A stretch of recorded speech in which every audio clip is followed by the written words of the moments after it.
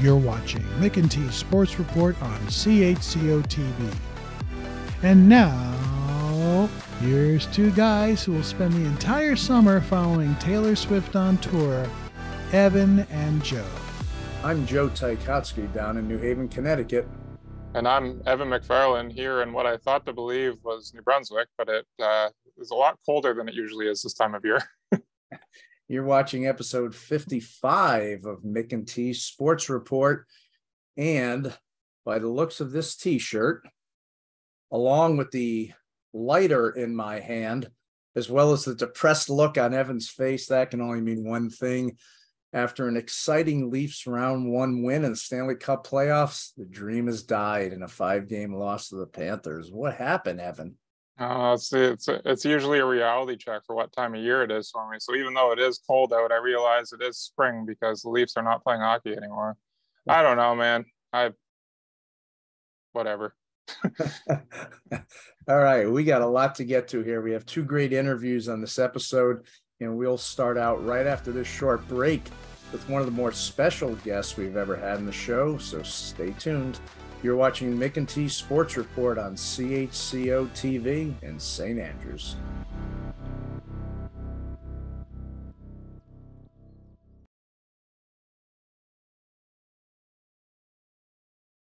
Welcome back to Mick and T Sports Report here on CHCO. Our first guest is Payton Hamilton, a grade 12 high school student at Sir James Dunn Academy here in St. Andrews. Just nine weeks after being born, Payton was diagnosed with a condition that caused liver disease, and she received a liver transplant from her father, Andy. She's required to take an anti rejection medication to keep her liver growing healthy, and as a result, is immunocompromised. Payton had a swollen lymph node a few years ago, but was monitored regularly, and her overall health was excellent, playing and starring in basketball for her school team. But during the summer of 2022, she became increasingly tired and was low on energy to the point of passing out. Numerous tests, scans, and multiple biopsies led to a diagnosis of Hodgkin lymphoma for Payton, a cancer that affects just over 1,000 Canadians each year. On a personal note, I've known Payton since she was in seventh grade, and she has fought this cancer the way she approaches everything with a huge smile on her face, regardless of how poorly she has felt. In fact, at one point, Payton had a chemo treatment in the morning and coached a middle school basketball game later that day. So let's take a few minutes to meet a truly special young woman, Payton Hamilton. Payton, welcome to the show. Thank you. I'm happy to be here. Awesome. All right. You told me you'd moved to St. Andrews at age four with the intention of just a two year stay that's now turned into 14 years. So, like, did you say to your dad, we're only staying two years, or how did it turn into the 14? Originally, uh, my dad got a job here as the bank manager, and it was initial for two years to stay. And then I think we just kind of got wrapped up with the community and everyone here. And it's a great spot to grow up because it's such a small get an area where you're about roaming the streets by the time you're eight by yeah. yourself. So it ended up, yeah, two years. And there was kind of some back and forth whether we were going to leave or not. And then COVID hit. So then now I'm graduating from here. So it's been 14, 14 fun years. That's good stuff. Now you were always very active and sports oriented. Um, since you've been at SJDA, what sports have you played? I did. I did mostly everything. I did cross country and track and all the running ones, volleyball, soccer, and then basketball was the consistent one where I guess I played varsity girls and boys. That's uh, that's good to put on your resume. Um, how old were you when you started basketball? I know that's your favorite sport. I was four. Um, I actually wasn't that interested in playing it originally. My dad kind of got put in as the coach, and then I used to run around with my arms in my jersey so no one would pass me the ball because I didn't want to be there. that's, that's so, good, which is yeah, which is funny now because it just kind of I guess developed throughout, and then finished off my high school years kind of with my dad involved and both my brothers. So it's always been kind of like a family thing, which made it fun on top of the game. Yeah, yeah. I would have liked to tell some girls to put their hands in the shirt so no one passed them the ball. But Evan, you have I a probably question? need it now so I don't foul people, but Yeah, I was just, I was actually just going to say there's a few on our team that we may implement that strategy next year for fouling purposes. But uh, Payton, just on some like some more serious stuff, like watching your last year, honestly, like from from my standpoint, it's just incredible what you've what you've gone through. So before we even ask you anything, just hats off to everything that that you've gone through, and uh, you've been an inspiration to a lot of people around here. But I've I was able to see kind of firsthand uh, the process of all this, and I know last summer you kind of started feeling extremely tired and lacked energy, and then you just you finally said, okay, that's it, let's go get some testing done. And when the test did come back and I mean, it's everybody's uh, obviously worst case to hear, but uh, with the cancer coming through. But what was your initial reaction? I know it's kind of a silly question, but uh, initially, I don't know. It's funny when I talk to other people because hearing them, it's like they'd be devastated, which I guess I was more so like, I wasn't really shocked. And honestly, I wasn't that upset. It was more, I guess, validating to hear that, again, I wasn't crazy Yeah. for, because as an athlete and as a person, you know, when your body's not performing or not functioning normally, and then having that scan about eight months after when they were going to send me off with a clean thing of health um, no one really calls, I guess, Thursday night. Like, no doctor's going to call desperate to cut open your neck if it's not Yeah. something serious. So, I mean, I kind of had a feeling all along. So, I guess it was just kind of more that confirmation that I needed that it wasn't. And once I heard when they suggested Hodgkin's out of my options and I looked into it, I figured that's what it was. yeah, that's that's fair. I mean, you're talking to two guys here that have both kind of gone through the waiting games of hearing stuff too. So uh, a lot to be Yeah. said for just getting that weight off the shoulders when you finally hear stuff. Uh, but I also saw like there was days when you went for your for your treatments and then you were in the gym shooting baskets or you were coming back and going to class in the afternoon. So like how much school do you think you actually missed at all? And do you think you, you didn't really fall behind in studies too much? I don't think either. No, it wasn't that bad. Yeah, there were some days where either we had practice or we had a game, or I coached the middle school team too. So I wanted to go coach the Yeah. game and I wasn't not going to be in the gym. And I guess that was something I was more focused on. And kind of when you get everything, I guess your life's changed and altered. It's like keeping the things that you like or that I was actually able to control Mhm. present in my life. So I kind of I was there consistently for the like I'd have an appointment every week or so throughout September and October. And then November I ended up getting my eggs removed as a precaution. And then about a week after that I started chemo. And then from that it kind of dropped off. And then it was like some days I would wake up and I obviously wasn't able to like move or it was really bad or treatment wasn't great that week. So mm-hmm. I would miss quite a bit. And then March I was able to or February even, I think I was like, okay, I'm gonna push myself a little farther. We're closer to the end to show up. So I'd say it was about three or four months. Luckily, it's such a small school that you can like the teachers were really understanding, and I was able to get everything. Plus, with COVID, I guess stuff is a lot of it is online now, which Mhm. was set up to be able to complete stuff from a distance and then be able to go in when I could. Yeah, cool. All right, now in regards to the basketball part of this, what was the toughest part physically about your grade 12 this past season?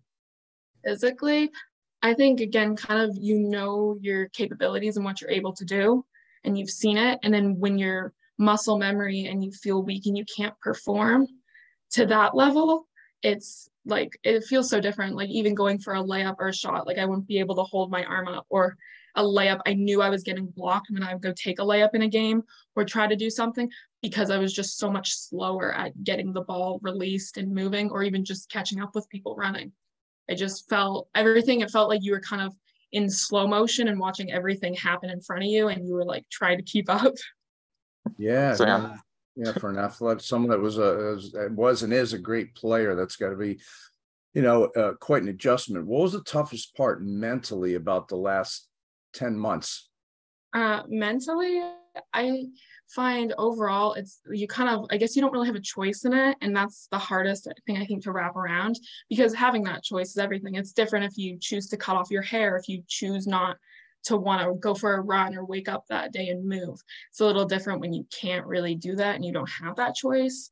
And then you're kind of expected, I guess, to adapt around it while everyone around you. Luckily, I enjoyed that. And I have a twin. So I got to watch kind of him.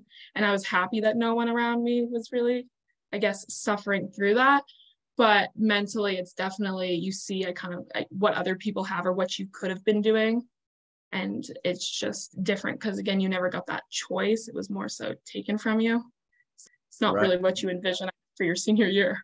Yeah, yeah, no. And then on top of it, throughout your high school career, COVID hits, so season gets canceled. Yeah.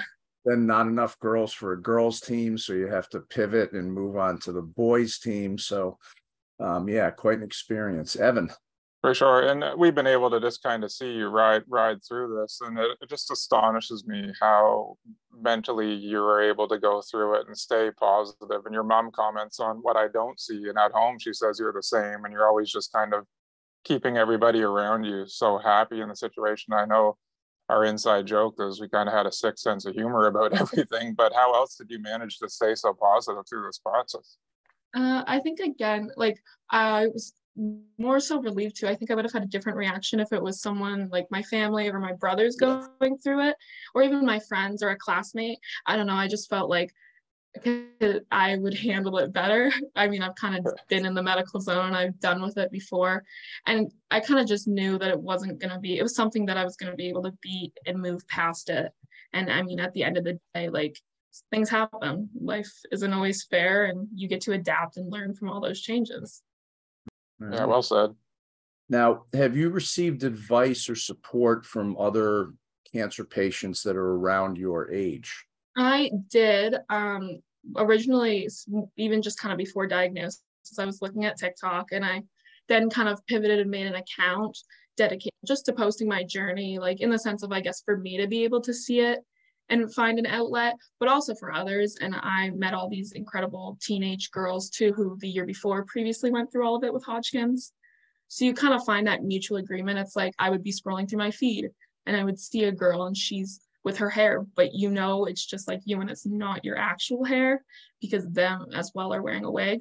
And then I had people reach out to me and say that all the videos were helpful and ask me questions and how I was going through with stuff because they just had got diagnosed. So it's kind of like a chain reaction where you kind of get to feed off other people and hear that vocal, like people vocalize and validate your experiences and then also get to share it with others to make people feel a little more less alone, yeah. I guess. Good, good, good support system. Um, and lastly, a couple things. We'll change topics a little bit. I had asked you before about if you could visit one part of Canada that you have never been to yet. You had an interesting. What was your answer? I think it'd be really cool to go to one of the territories up instead of, I guess, one of the generic provinces and see the Northern Lights. I think that would be really cool. A little bit different than the small little tourist town. We don't really get much of that up here. Sure. Yeah. and then the last question, which Evan and I have been debating off camera. Um, when I was up there, I coached you in grade seven. Evan coached you later on your last couple years. So out of these two good looking guys on the screen, which one was your favorite coach? Um, I think I have to go with the person there for both of them. I might say my dad. Your dad? What? Oh my goodness. He got, he got the best of both. He was there for girls, Op- there for boys. Option C. yeah, I made my own option. Option no, C. All, all jokes aside, your dad's your dad's great. He certainly helped me a ton in the last few years. And uh, just on on a more personal thing for myself, Payton, uh, there I've gone through some some bad days while you were going through this too. And I would come in and I'd see you coming to practice and you could tell that you were grinding it out and that just made me snap out of whatever funk I had. Cause if you were able to get there, then my issues weren't so big. So I, I commend you for that for 10 months. So thank you so much. Thank you. And um, and I like I said, I met Payton when she was younger at our camp, and we're gonna try to get her to work the camp this year. She played for me in grade seven, and I was like grade seven on a varsity team, and she just goes out there like no fear, no fear, which is awesome. Um, well, she is Payton Hamilton, a student at Sir James Dunn Academy who'll be graduating in a few weeks. What's up next year school wise? I am going to St. Mary's University in Halifax so far, which is fun. Nice little difference of getting into a city rather than the small town and community you get used to. Excellent. Well, your story is truly one of courage, persistence, and uh, quite a heavy dose of positivity that uh, that I think we can all learn from. And I know your parents, uh, Deb and Andy, and your twin brother Ben and your younger brother Owen are all quite proud of you, as is the community. Uh, keep up the good work, Payton, and uh, thanks for coming on the show. Thanks so much for having me. Thank you. Well, coming up, coming up next on Small Town Spotlight, we actually head to a place that Payton just talked about as we go to the land of the midnight sun to talk about a long-running summer music festival. And you're watching Mick and T Sports Report on CHCO TV.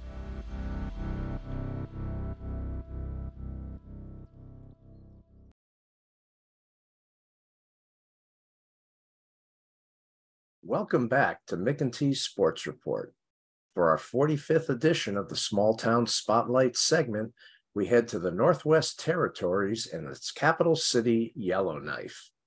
With a population of just over 20,000, it's the largest city in the Northwest Territories.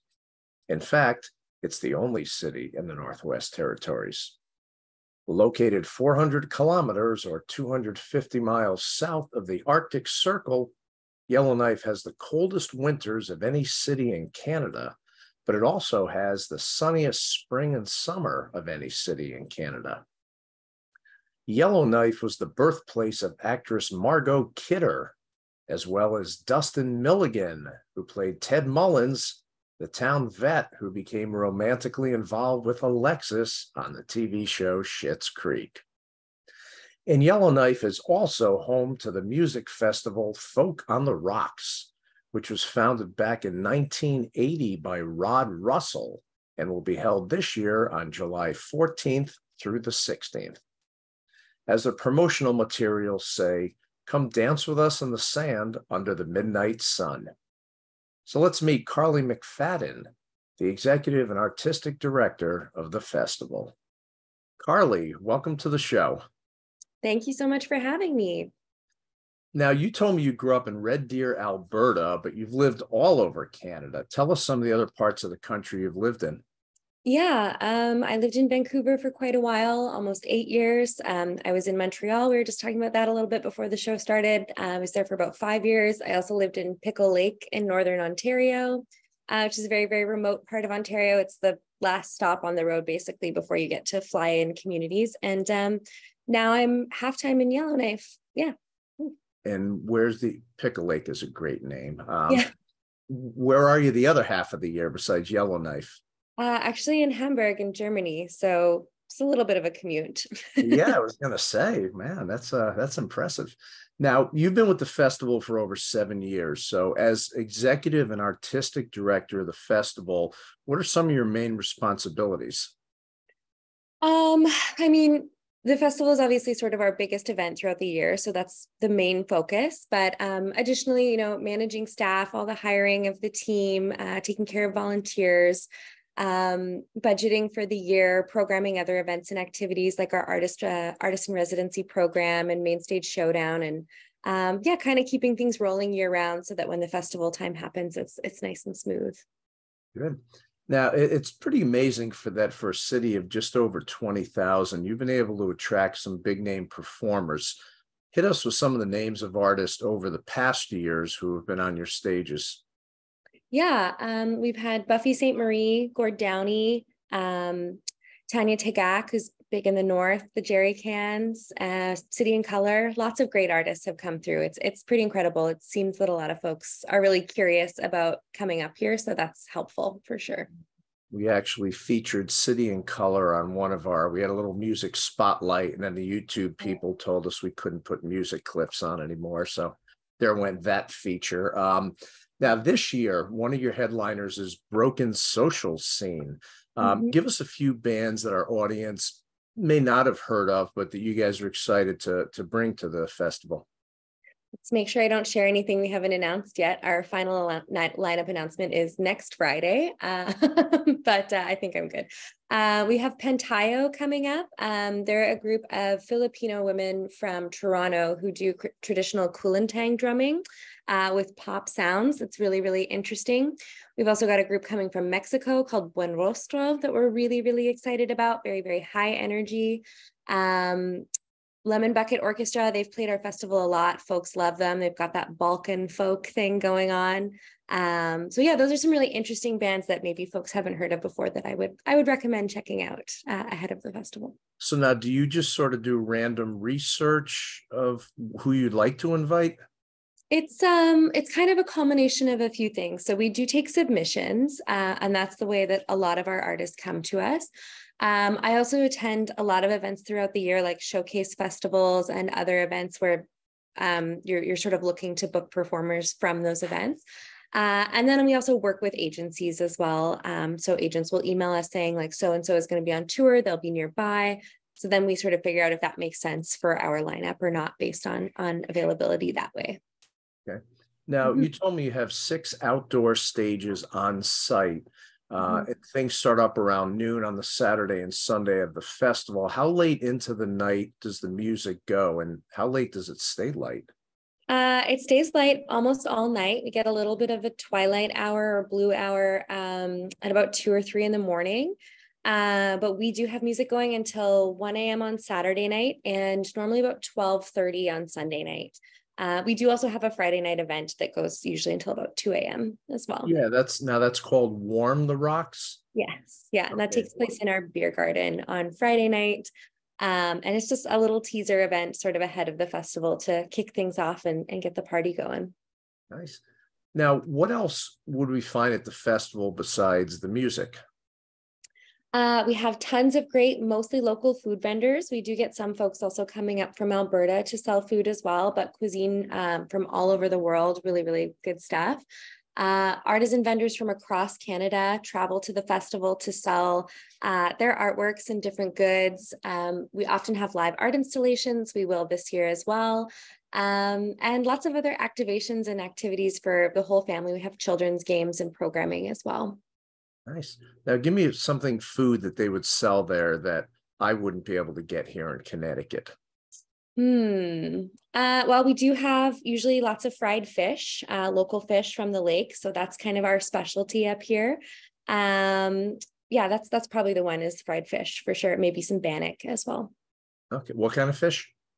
Uh, usually whitefish, but we have trout as well. Lots of lots of great fish in the seventh deepest lake in the world. So lots of fish okay. here. And then yeah. you mentioned bannock.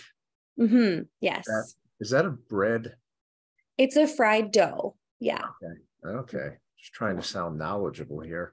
Um, that's fine. It's a fried dough. Um, that's yeah, uh, deep fried, sort of like something in between a biscuit and a donut, and often you eat it with butter and jam.